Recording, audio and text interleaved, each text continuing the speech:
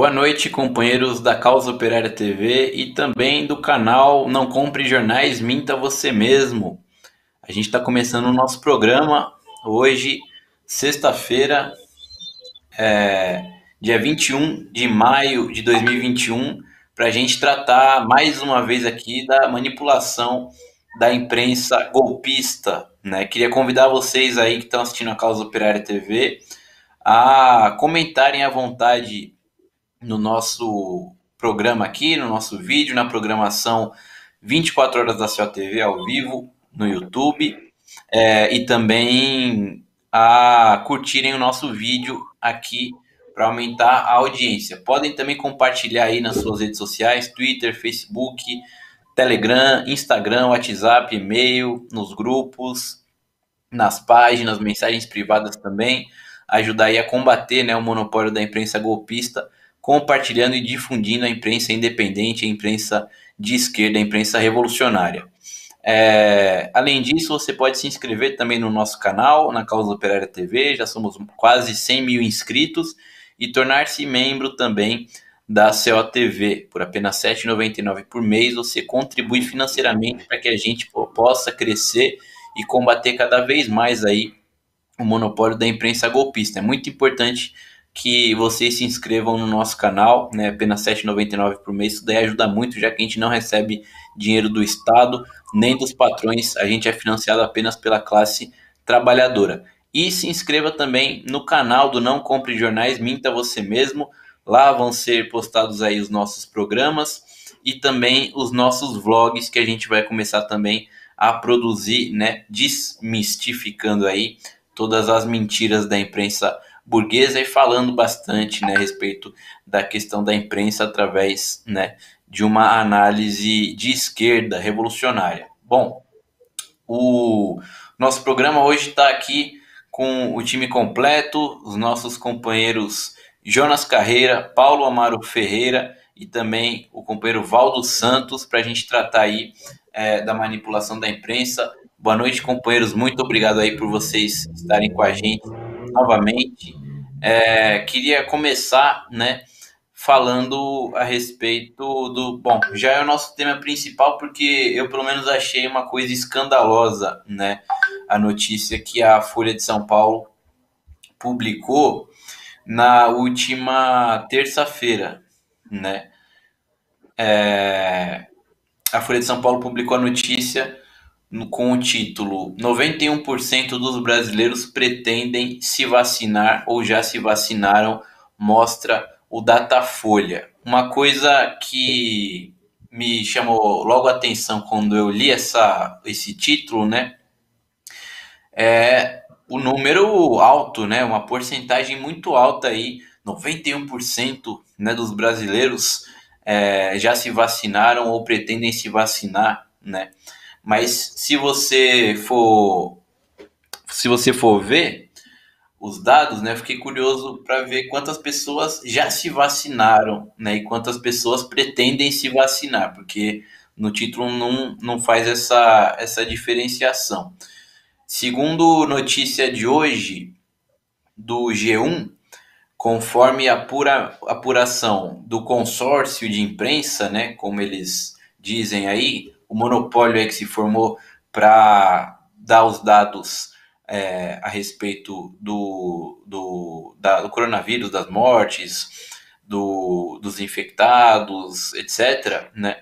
Segundo esse consórcio aí, que é formado pelo G1, o Globo e Extra, que são do Grupo Globo, Estadão e Folha e UOL, que são do Grupo Folha, né, segundo esse consórcio, é, 9 3,5% da população brasileira teriam já se imunizado do coronavírus, né? Ou seja, teriam se vacinado efetivamente, né? Porque a gente tem duas aplicações, né? A primeira e a segunda dose, mas você está efetivamente vacinado quando você recebe a segunda dose. Mas digamos que a gente pode só considerar aí que a primeira dose apenas é 19,4% da população, segundo esse mesmo consórcio. 19,4% da população estaria vacinada pelo menos com a primeira dose. Mas a Folha de São Paulo coloca esse percentual, 19% da população, junto com aqueles que pretendem se vacinar, né, que já é, é um número, um percentual muito maior, né, é, o que faz com que 91% dos brasileiros pretendam se vacinar ou já tenham se vacinado. Só que somente 19% se vacinaram. O número, a percentual maior é dos que pretendem se vacinar, né? Então a Folha de São Paulo faz esse joguinho aí com, com o percentual para dar a entender que 91% dos brasileiros já se vacinaram, né? Mesma coisa que você você está assistindo um jogo, né? Da, por exemplo, da Copa do Mundo entre Brasil e Inglaterra e falar que tem seis títulos mundiais em campo, sem falar né, que cinco são do Brasil e só um da Inglaterra. Né? Os cinco títulos mundiais do Brasil, aqui nessa, nessa pesquisa, é as pessoas que pretendem se vacinar. Os que já se vacinaram é só esse um título aí mundial da Inglaterra. Mas se você fala que tem seis títulos mundiais em campo, dá a impressão, ó, oh, então é um jogo muito equilibrado, os dois têm muitos títulos mundiais, né? mas quando você for ver, na verdade, é uma disparidade muito grande. E isso daí acaba que, é, querendo ou não, é uma propaganda para o governo Bolsonaro, né? Você dar a entender aí que muita gente já se vacinou, um número expressivo de pessoas já se vacinou ou querem se vacinar, 91%, né? Isso significa que existe, né, uma vacinação no país, existe uma campanha do governo pela vacinação, né? Muita gente já se vacinou, sendo que a gente está vendo que é muito diferente disso. Né? Em São Paulo, por exemplo, não temos mais vacina. Vacinação está totalmente paralisada, né? Muitos analistas aí e, e, e especialistas é, falam em uma terceira onda muito pior do que as anteriores, né? Então o cenário pode ser ainda pior do que atualmente, mas a Folha de São Paulo, que se diz é, um jornal antibolsonarista, em defesa da democracia, em defesa da ciência, né? Contra o obscurantismo, contra o negacionismo, ela publica uma reportagem tanto no seu portal de internet como no jornal impresso, é, fazendo uma clara né, propaganda para o Bolsonaro ao dar a entender né, que 91% dos brasileiros já teriam até se vacinado, né, sem fazer essa distinção aí na sua propaganda. Queria que os companheiros comentassem. Vamos começar aí pelo companheiro Jonas Carreira. Boa noite, Jonas.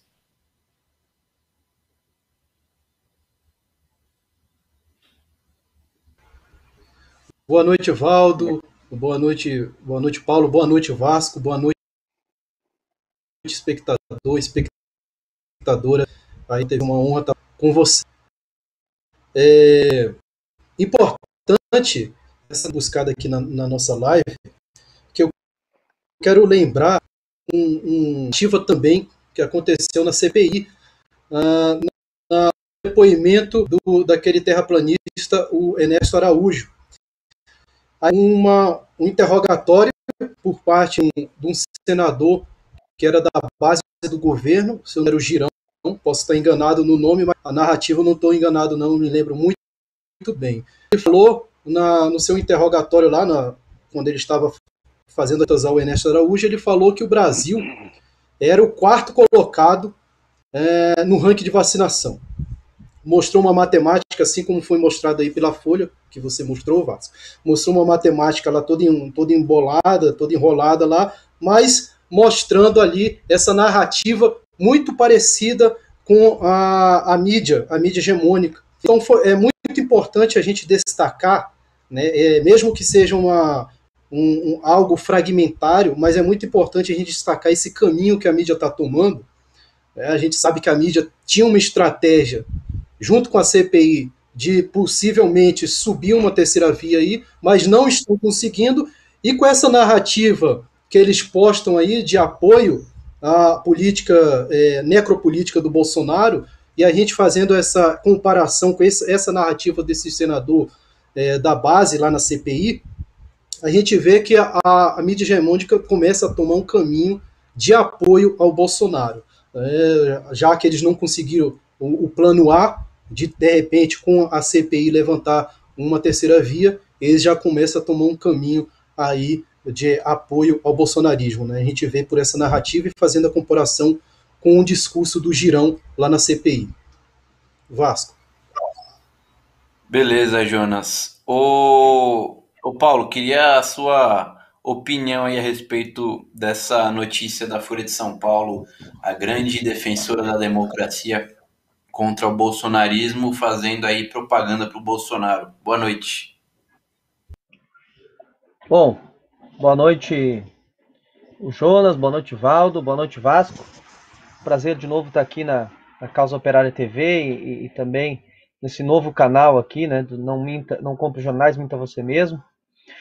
É, bom, é, é isso, é, é a, o modus operandi da imprensa golpista, né, esse, esse tipo de, de matéria, esse tipo de indução, né, esse tipo de manipulação da informação. O, acho que o Vasco e o Jonas também já comentaram aí sobre, sobre essa questão, né?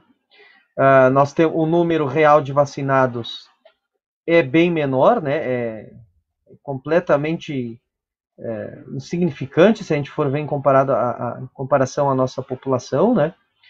É, enfim. Agora também a gente teria que, que ver aí por que, que será que a Folha está tá noticiando essa matéria dessa forma, né? O que, que seria, quais, quais seriam as intenções, né? Enfim. Uh, uma delas pode ser aquilo já, acho que, que o Vasco já falou um pouco, né? De, de dar uma, uma, levantar um pouco a bolinha do governo, né, do, do Bolsonaro. É, a outra também pode ser o fato de que até nós estávamos comentando antes de, de ir para o ar aqui a questão da volta às aulas, né? Ou seja, a, a, as aulas houve toda uma pressão, né? E há ainda uma pressão para os lugares que ainda não retornaram às aulas presenciais, né? E, e, mas houve uma pressão muito forte, enfim, pelo, pelo retorno às aulas e na maior parte dos, dos, lugares não tem vacinação, né? Por exemplo, aqui no Rio Grande do Sul, os professores retornaram às aulas presenciais sem qualquer vacinação, né? E, e, e detalhe, não há previsão de vacinação também, tem mais essa. Então, talvez essas, essas matérias elas saiam também nesse sentido de tentar tranquilizar, tentar manipular um pouco mais a informação para que uh, a, esses setores é, se mantenham menos mobilizados, né? então pode ser isso também. Né? Agora, eu queria só chamar uma atenção, eh, com certeza não foi a intenção da Folha, aí companheiros, mas eu queria só chamar a atenção o seguinte, né? Supondo que de fato esse levantamento seja correto, ou seja, que, que a, a ampla maioria da, popula da população uh, topa se vacinar, ou seja, deseja vacinação, a gente fica se perguntando também por que é que, que, que, a esquerda ficou batendo cabeça e apoiando a direita naquela história de, de criar um projeto de lei de obrigação da, da, da vacinação. Obrigar. Né, se criou toda uma narrativa naquele momento de que existia um amplo movimento no Brasil que estava negando a vacina, que um amplo setor da população não ia se vacinar, né, toda uma história aí, aí se apoiou uma lei aí repressiva, né, ah, para reprimir a população que não que não quisesse se vacinar. E aí nós vemos que na verdade a população está, né, ah, está pedindo a vacina, né? Só que não tem a vacina. Né? Mas a gente viu que toda essa farofada que, que até os setores da esquerda entraram, né, de, de apoiar uma, uma lei repressiva por parte do Estado para obrigar a vacinação, era uma coisa totalmente inócua, né? Tá, mais um distracionismo, enquanto que, na verdade, não tem vacina, né? E só para completar aqui, finalizar, o, eu não sei se esses dados trazem, acho que o Vasco falou ali, mas teria que ver como é que está computado isso, porque existe, existe já um amplo setor que fez a primeira dose da vacina e que, e que não tem a segunda dose, ou seja, não está imunizada, né? Eh, sobretudo o caso da Coronavac, que já é uma vacina que com as duas doses não garante uma, uma imunidade completa, você imagina só com a primeira dose, né? E, e, e existe existe uma boa parcela da população que já faz bem mais de um mês, né, que seria um mês o intervalo da segunda dose, no entanto, faz mais de bem mais de um mês que tomou a primeira dose e não está tomando a segunda dose. Ou seja, é, esses dados aí eu não sei se refletem exatamente a realidade. Pode ser pior do que os dados ainda, né? Então, é, inicialmente, acho que é essas questões que eu gostaria de levantar aí. Beleza. Valdo, boa noite. Qual que é a sua impressão a respeito desse tipo de notícia aí transmitida pela Folha? Muito boa noite, camaradas e companheiros aqui da COTV, Vasco, Paulo e Jonas.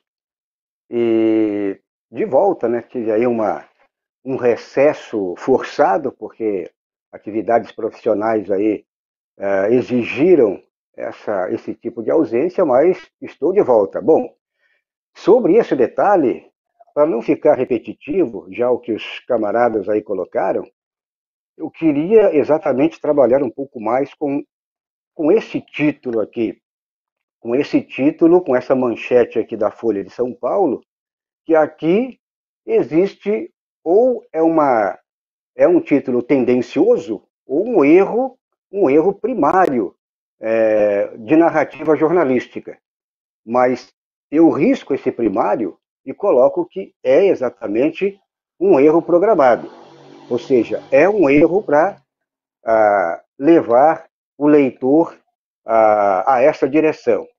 Então, quando eles colocam aqui, é, já foram vacinados contra a Covid, ou seja, você tem a impressão, como o Vasco comentou lá sobre um ótimo exemplo da Copa do Mundo, 91% dos brasileiros, de acordo aqui com o OU, né, esse OU leva, já foram vacinados.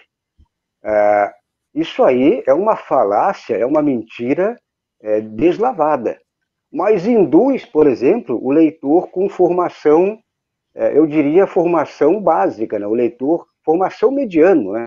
Até mesmo aí, se você pegar a classe média que não tem é, uma leitura um pouco mais crítica, mais aprofundada, ele deixa-se se iludir por esse tipo aqui de, é, de erro tendencioso, né? Leia-se erro tendencioso, ou seria um erro primário de narrativa jornalística, que já arrisco, coloca um X que não é, que é tendencioso. Mas isso aí, é, se você projetar tudo que, que já foi comentado por aqui, hoje nós temos em termos de números, né, em termos de vacinados, não chega a 10%.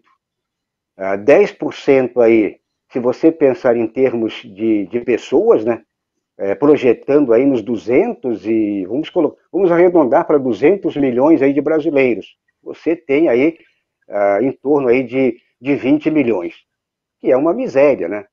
Outro detalhe que é bom também deixarmos aqui claros é que ah, o Brasil, se você pensar no tamanho desse nosso imenso Brasil, nós estamos praticamente com um, um, número muito mínimo aí de, de doses de vacina. É, agora, com esse problema aí de falta de imunizante, ah, ou seja, a Sputnik está suspensa, não, não liberaram, que seria também uma possibilidade de de um avanço um pouco mais com a própria Sputnik. E essas outras vacinas aí, principalmente a chinesa, ah, pela questão, a falta de, imuniz... de, de insumos, perdão. A falta, eu falei imunizantes, a falta de insumo é que está barrando ainda este avanço com esse número muito minúsculo é, de vacina, mas acredito que, para esquentar aqui a nossa conversa, basicamente é isso. É, uma coisa, um, só um, um agradecimento aqui ao companheiro Ernesto Abdala Filho, que enviou um super chat para a gente. É, e também deixa eu aproveitar aqui para ler os companheiros que estão assistindo. O Aurélio dos Santos, boa noite, companheiros. Sou eu, da boa noite também. O, o Ernesto Abdala Filho comenta aqui também. Desta vez eu consigo boa noite. TVC Jornalismo, companheiros é, da TVC Jornalismo, representados aqui pelo companheiro Valdo, pelo companheiro Jonas Carreira também, nossa parceira. É, Adriana Machado, companheira do correspondente internacional, Jesus era humano, Rafa Camijo, boa noite camaradas, Oswaldo Luiz Ribeiro comenta, folhamente é um pleonasmo. É, isso daí é verdade, inclusive já já queria falar um pouquinho mais a respeito da Folha, porque em um outro episódio dessa semana aqui, a imprensa ela mostrou é, como ela manipula as situações, né? O Ernesto Abdala Filho, a esquerda só serve para distrair e jogar poeira nos olhos dos trabalhadores. Ah, e o Carlos Nishimiya, nosso companheiro aqui do podcast Música de Classe também, camarada do PCO, aqui com a gente, dando boa noite. O, uma, uma, um, outro, um outro acontecimento né, dessa semana, todos nós acompanhamos, né? Foi a morte do, do ex-prefeito de São Paulo, Bruno Covas. É, lógico, né? O, o os familiares ficaram naturalmente, né, com uma pessoa da família morrendo, isso daí é para a família uma tragédia, tudo. O problema é que a imprensa e a direita, né, utilizaram a morte do Bruno Covas para fazer propaganda do PSDB, né, para fazer propaganda inclusive da própria direita. Porque vocês analisando alguns, algum, algumas matérias da própria Folha, por exemplo, é, tem um título de uma matéria da Folha que dizia o seguinte: Prefeito Bruno Covas, político moderado que confrontou o autoritarismo, morre aos 41 em São Paulo. Uma matéria do G1. Bruno Covas era admirado por ser avesso ao populismo e à agressividade política. Né? É, inclusive a imprensa internacional ela também repercutiu com esse sentido, falando que a, a Deutsche Welle da Alemanha, por exemplo, com o título de uma matéria Aliados e adversários exaltam Bruno Covas como voz moderada né? É... Isso daí, né, foi utilizado, como eu disse, pela imprensa para fazer uma propaganda do PSDB e também da direita dita científica, civilizada, tudo mais, né? Utilizaram o, o morto aí, o, o ex-prefeito de São Paulo, mesmo a pessoa já tendo morrido para os próprios interesses, né? Como a burguesia fez ao longo, como ela faz, né? Sempre com seus políticos, utiliza ali o político para manipulá-lo, né? Como uma marionete para atender aos seus interesses e mesmo depois que o político é, se vai, ela ainda dá um jeito de tirar uma casquinha, né? Disso daí para os próprios objetivos. Então a imprensa, né?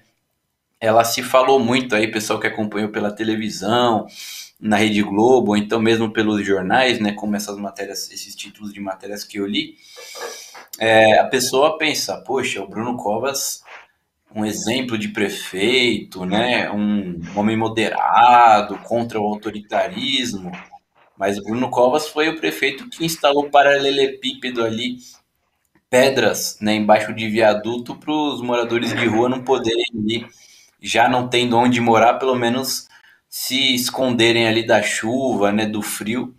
Nem isso eles puderam com a administração do Bruno Covas. O Bruno Covas foi o cara que implementou a reforma da Previdência contra os servidores públicos que se mobilizaram contra a retirada da aposentadoria deles. Né? O Bruno Covas, coadunado com o João Dória, tentou forçar a volta às aulas aqui em São Paulo no meio da pandemia, né?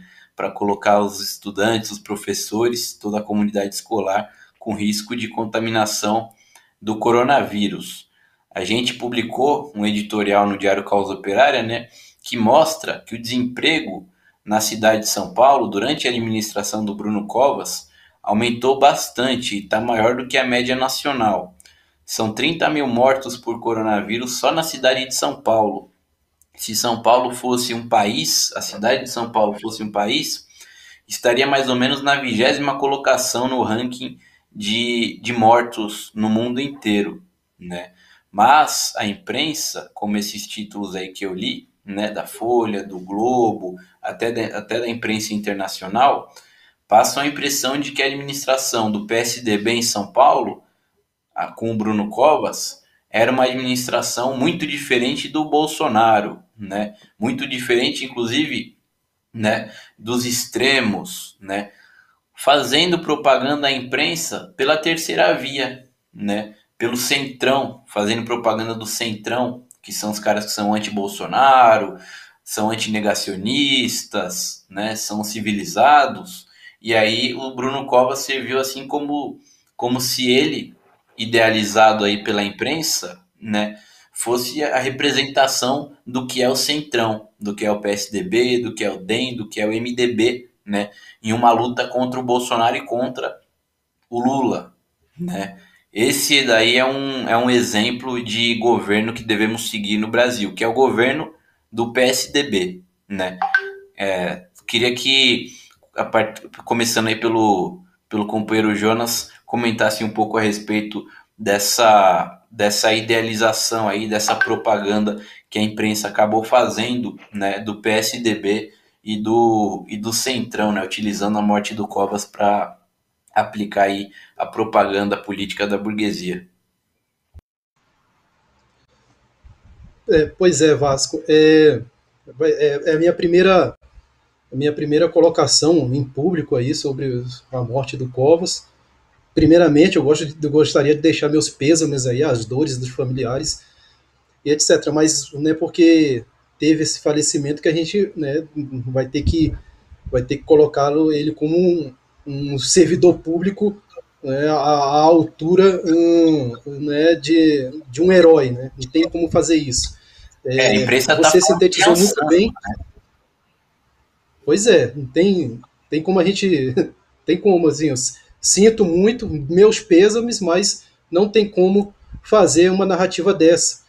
E o pior de tudo é que a narrativa da imprensa, como você sintetizou muito bem, é uma narrativa eleitoreira, né? Justa, justamente usando o extremismo do Bolsonaro e aquele e aquela colocação de populismo, né? querendo encaixar é, um político que preserva as políticas públicas e sociais como um populista, como algo ruim. É, e, e é muito é muito tenebroso essa jogada da, da, da mídia. E mais uma vez, voltando para esse caminho de tentar colocar é, Lula como um extremo à esquerda e o Bolsonaro como extrema esquerda, como extrema direita, e, é, e é eles tentando emplacar ali o PSDB, como, como você disse aí, é, essa direita científica, para ser uma terceira via. Então, um trabalho é um trabalho é, covarde que a mídia coloca, faz, e ao mesmo tempo tenebroso, né, usando o falecimento aí do, do, do político Covas para tentar angariar alguma, algum resultado positivo nas eleições de 2022. Ô, Valdo, você acompanhou, né? Você também é jornalista aí. Queria que você desse aí a sua opinião a respeito dessa, dessa propaganda, né? De só para eu dar um relato, a gente, né, no, no PCO a gente faz mutirões aí todos os domingos, na, nos bairros operários, populares, tudo. E ali num, num bairro da periferia, aqui numa favela que a gente tava, né, é, a gente estava distribuindo material pelo Fora Bolsonaro, denunciando que não existe vacina para a população pobre da periferia, que não, não tem auxílio emergencial, né? E aí um, um cidadão trabalhador ali, que morador da favela, ele, ele me disse assim, né? Um já morreu, né? Comemorando a, a morte do Covas, né? É, a gente tem que entender que os trabalhadores, né, de tão humilhados, explorados que são pela burguesia, que é personificada nos políticos, nos governantes burgueses, né, eles é, acabam odiando mesmo os seus, os seus carrascos, né? E não precisa ser um Bolsonaro, que é o cara assim feio, fedido, tudo mais, né? Que todo mundo odeia. Pode ser esse daí que a imprensa pinta como civilizado, como um santo, como é o caso do Covas, né? Para os trabalhadores que sentem a exploração diariamente, eles não, eles não é, ficaram tristes não com a morte do Bruno Covas. A gente é que entende, né? A, a, o, que o pessoal que, que, que, não, que não quer atacar ele, tudo, né? A gente a gente aqui faz uma análise equilibrada, né? A gente não, não comemora aqui a morte, mas também não, não chora a morte de ninguém. Você apenas dá os fatos aí da situação. Mas um, um relato aqui, porque os trabalhadores, né, que a gente mesmo encontrou, estavam comemorando a morte do, do Bruno Covas. É, o, esse detalhe aí, é, eu levo em consideração é, dois fatos. Esse que você já narrou aí sobre a, as pedras que ele colocou lá na, no viaduto, e também, isso é bom, a esquerda que, que sempre coloca, às vezes, uns tampões nos ouvidos, lembrar que esse sujeito aí, ele foi deputado ah, em 2016 e ele votou pelo golpe, né? Ele votou pelo golpe lá em 2016 é, portanto, para derrubar a Dilma Rousseff. Agora, é isso que, que você comentou, por exemplo, de, do, do, das pessoas da periferia, não está levando ele como um Marte, né, como a, pelo menos aí esses cheirosinhos aí estão tentando colocar ele como um grande Marte aí, um grande batalhador, né, um sujeito aí que tinha um futuro imenso aí para ser um, um grande político aí para representar os trabalhadores, o, a periferia, os trabalhadores, não levam em consideração ele como um, um mártir. Né? Agora, é claro que temos que, que respeitar a questão aí, é, humanitária, ou seja, a, toda a família e também temos que levar aqui as nossas é, condolências, mas ele, aqui sabemos o passado aí desse, desse cabra. Ah, ele sempre foi aquele sujeito é, com aquele interesse sempre é, voltado para defender a classe dele, é óbvio, né? E ah, isso que está acontecendo, que você narrou aí, da, da periferia, é, vibrar pela morte dele, é o, o, exemplo que você tem neste momento, se você for lá no Jacarezinho, vai, vai acontecer a mesma coisa. Se entrar um policial lá no Jacarezinho hoje, com certeza um policial sozinho lá no Jacarezinho vai ser linchado pela comunidade, porque o carrasco, a, a, o pessoal da periferia, né, o, quem é massacrado na periferia sabe quem é o carrasco. Então, em São Paulo, esse prefeito aí, com todo o respeito pela morte dele, mas pelas práticas políticas é, desse filho do, do velho Covas, é, ele seguiu um caminho talvez um pouco diferente do, do, do pai. Então, basicamente, é isso que eu gostaria de deixar por aqui sobre é, o falecimento aí desse prefeito que, é, de defensor dos trabalhadores, não tem nada, pelo contrário. É, e ainda para ilustrar né, essa situação aí da imprensa, o Estadão publicou uma, um artigo do jornalista Fausto Macedo, intitulado Bruno Covas. Nesse artigo ele, ele fala assim: Brasil perdeu Bruno Covas, nós perdemos Bruno Covas. A política carece de pessoas éticas, competentes e trabalhadoras e que sejam também humanas, desprovidas de preconceitos e capazes de amar o próximo. Que não fazem automarketing, que entendem o desafio público como simples obrigação e compromisso, dever de quem mereceu o voto popular. Bruno, embora ainda jovem, teve carreira pródiga em realizações. Foi deputado estadual, deputado federal, como o o Valdo lembrou, né, votou o golpe contra Dilma. É, secretário estadual do Meio Ambiente em São Paulo, vice-prefeito e prefeito. vice-prefeito do Dória, na prefeitura genocida do, do, do João Dória antes de assumir o governo. Por todos esses cargos que conquistou pelo respeito e admiração da sociedade, deixou sua discreta marca de probidade, inteligência e realizações. Herdeiro político de Mário Covas, seu avô, Bruno construiu a própria história. Aqui o pessoal aproveita para puxar o saco do Bruno Covas, do, do Mário Covas, né? também do PSDB. Fará muita falta, em especial nestes tempos bicudos e pobre de novas lideranças que vivemos. A vida está de luto. Foi um, uma ode aqui ao, ao Bruno Covas, publicada pelo reacionário Estado de São Paulo, hein, Paulo? Pois é, né?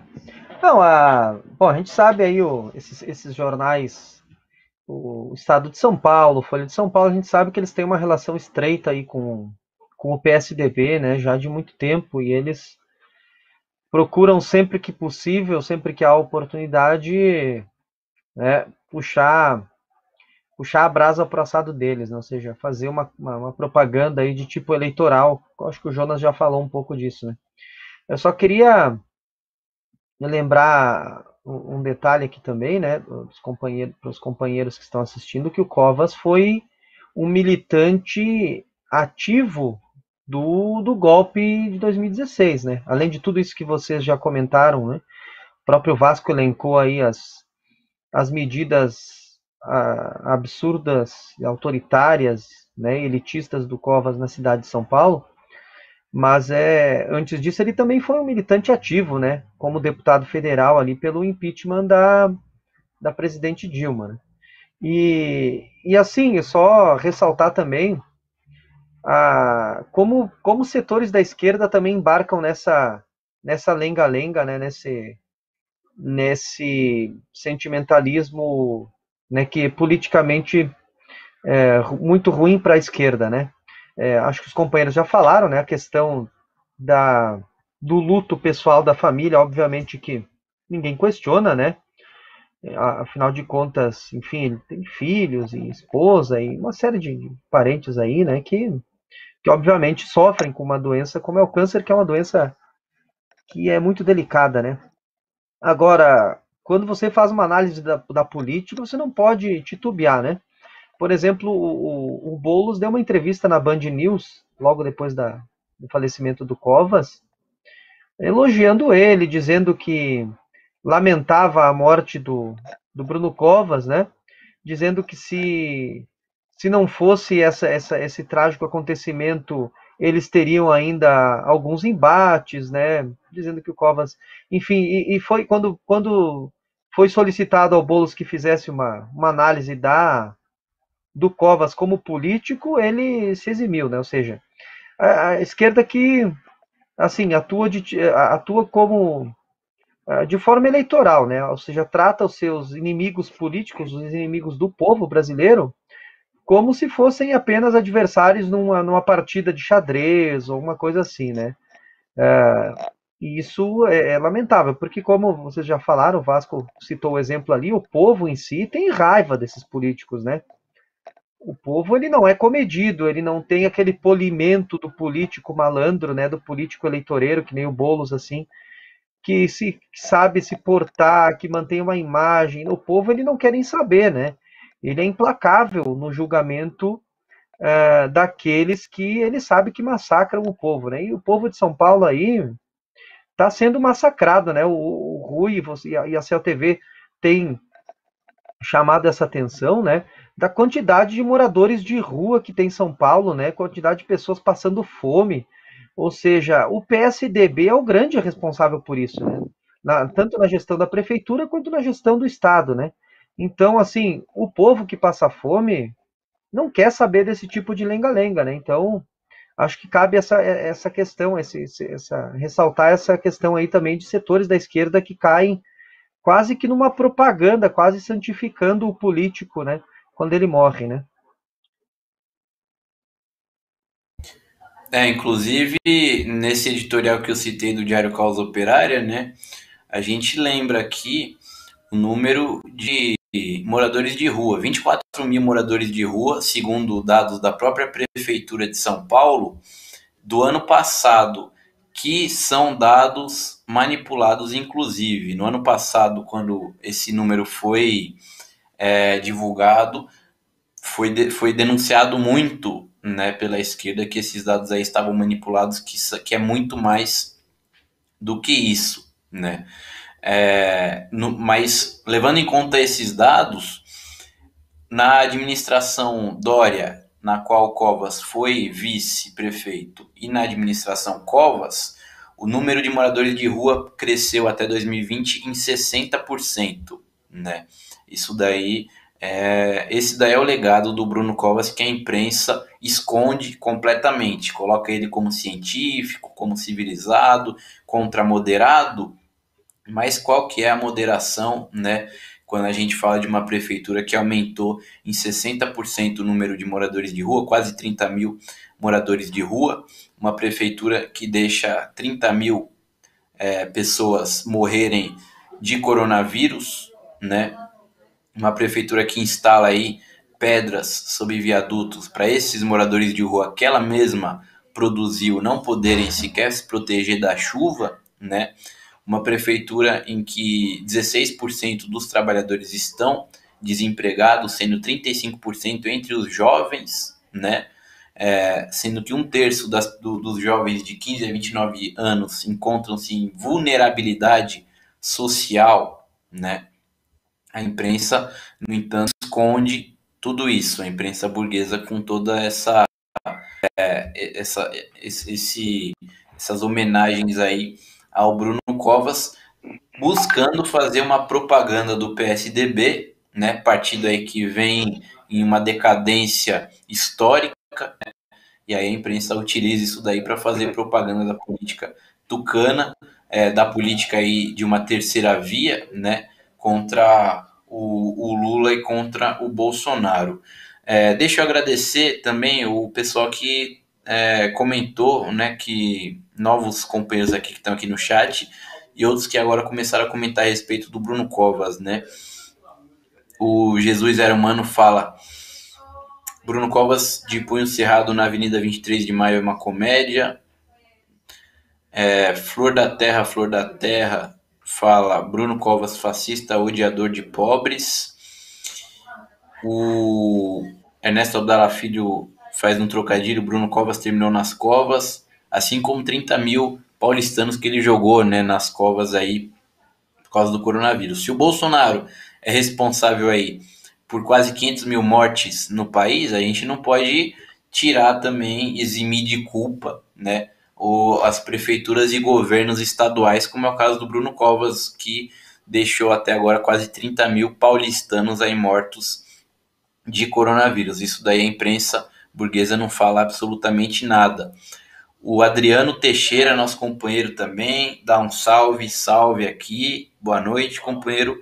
Sou eu, envia um super sticker, assim como a companheira Maria Ângela Abducci, companheira do Comitê de Luta é, da Zona Oeste de São Paulo.